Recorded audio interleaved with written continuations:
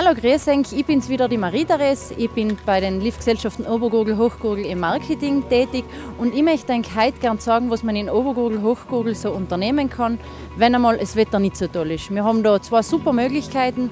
Einerseits im Top Mountain Crosspoint das Motorradmuseum und andererseits auf der Hohen Mutalm den Naturpark Infopoint. Im Zuge dessen fahren wir jetzt heute auf die Hohe Mutalm rauf. Auf der Hohe Mutalm wurde heuer der Naturpark Infopoint installiert und das ist eigentlich ein super Einkehrschwung mit Bildung.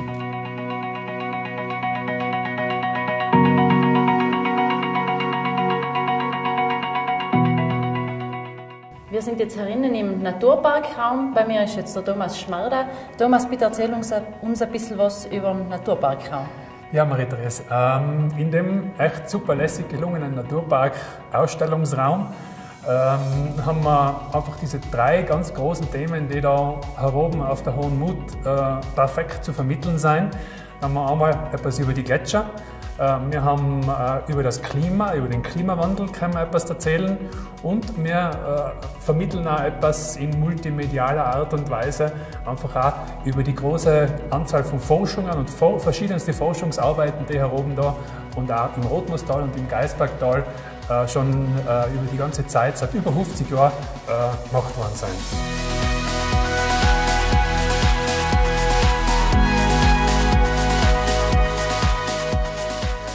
Da im Naturparkraum, da gibt es eine Besonderheit, ein Highlight, ein besonderes Exponat. Was kannst du uns da dazu sagen? Ja, also es gibt eine ganze Reihe von Exponaten, die wir von den Wissenschaftlern bekommen haben.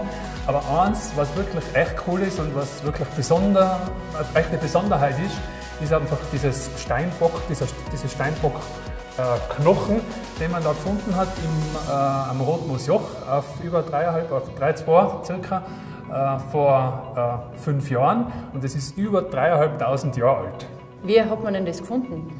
Ähm, ja, eigentlich zufällig. Da ist ein Südtiroler Tierarzt, ist da ja, einfach unterwegs gewesen auf dem Joch und hat das eben zufällig eben gesehen und nicht nur das Horn oder halt diesen, diesen ähm, Knochen, sondern auch verschiedene andere Reste. Aber eben, das hat er uns äh, übermittelt sozusagen, dieses äh, äh Horn bzw. diesen ähm, diesen Knochen und das können wir jetzt da idealerweise ausstellen. Äh, zum Naturpark Kreuztal gibt es einfach auch im äh, Winter ein super lässiges äh, Angebot. Wir haben recht äh, vielfältige äh, Schneeschuhwanderungen, wo man mit den Schneeschuhen unterwegs sind, aber nicht nur eben gehen, sondern einfach auch ein bisschen was über die Natur erklären, über die, Schnee, die Spuren, äh, die man praktisch im Schnee sieht, wie die Pflanzen, wie die Tiere sich im Winter verhalten. Also ein nettes, schönes äh, Programm. Insgesamt sind es fünf so Wanderungen eigentlich über das mhm. ganze Tal, so Schneeschuhwanderungen, die wir anbieten und wo wir natürlich jeden herzlich einladen, da mal mit dabei zu sein bei so einer Wanderung. Und ihr habt auch noch mehrere Ausstellungspunkte im Ötztal, oder? Ja, genau.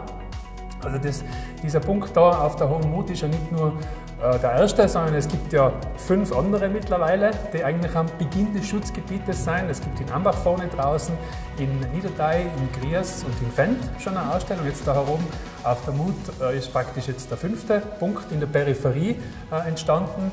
Und zentral in der Mitte des Tales wollen wir eben äh, heuer dieses Naturparkhaus, unser Naturparkhaus, äh, beginnen mit dem Bau. Und da hoffen wir, dass wir mit Ende des Jahres vielleicht sogar äh, ja, mit Ende des Jahres da schon einziehen können. Super.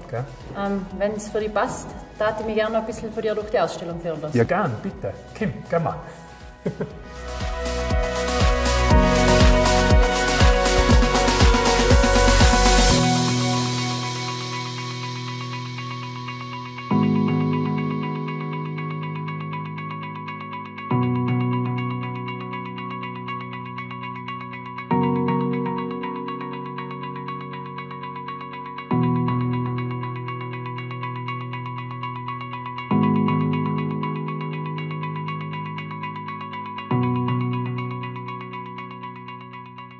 Jetzt sind wir wieder herunten in Tal, haben uns den Naturpark Infopoint auf der Hohen Mut angeschaut. Das war sehr interessant für mich, war sozusagen ein Einkehrschwung mit Bildung. Und beim nächsten Mal werden wir uns das nächste Museum anschauen. Da fahren wir zum Top Mountain Crosspoint drauf und schauen uns dort das Top Mountain Motorcycle Museum an, wo zurzeit eine sehr interessante Sonderausstellung mit äh, historischen Pistengeräten stattfindet.